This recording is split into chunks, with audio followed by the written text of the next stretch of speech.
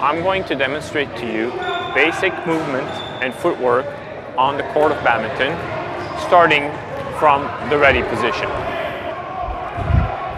As you can see from me moving in the court, one does not run, but one slides on the court.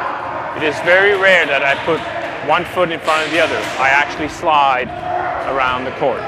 You can also see that every movement starts from the ready position with a small hop, which actually points your foot in the direction where you're going.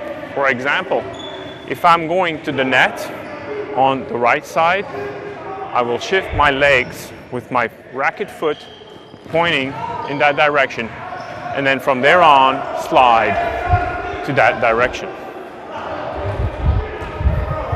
And then come back on the, the same foot leading. If I'm going to the right far back side of the court, same thing. I take an initial hop from the ready position. And then from there on shuffle back until I reach the position where I want to strike. And then do my shot. And then in this case my racket leg is passed in front of me. And then from there on I shuffle back to the ready position.